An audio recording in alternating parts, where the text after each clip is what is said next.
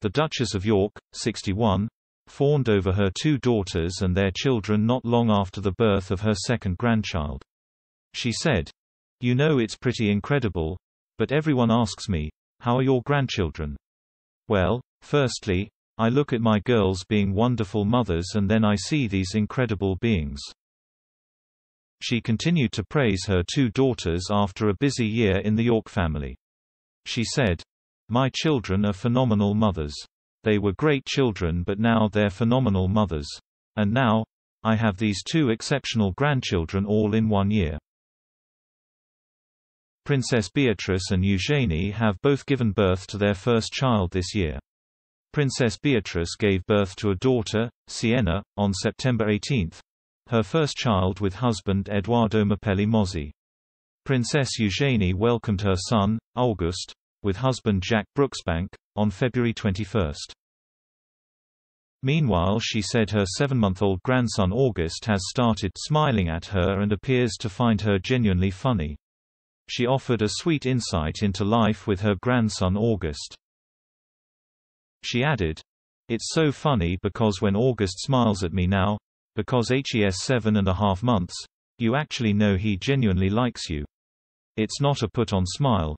He genuinely finds me very funny which is quite lucky. The Duchess has been keeping herself busy recently despite the York family newcomers, and revealed she was midway through her second Mills and Boon novel, called A Discerning Lady.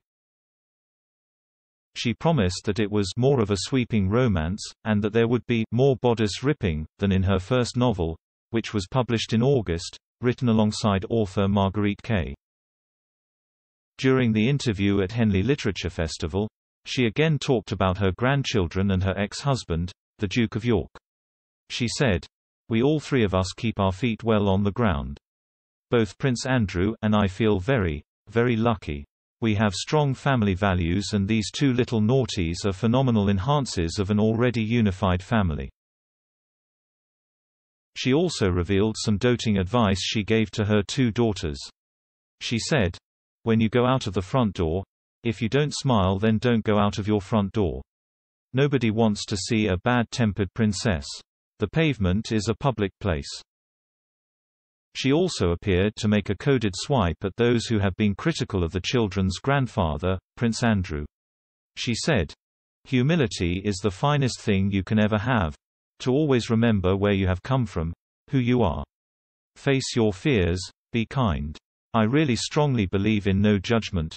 Just getting on, and it too shall pass. In an apparent swipe at those online who have judged the Duke, with whom she still lives in Windsor, and his daughters, she criticized keyboard warriors. She said, Just stop it, get on, be joyous, be loving and be compassionate.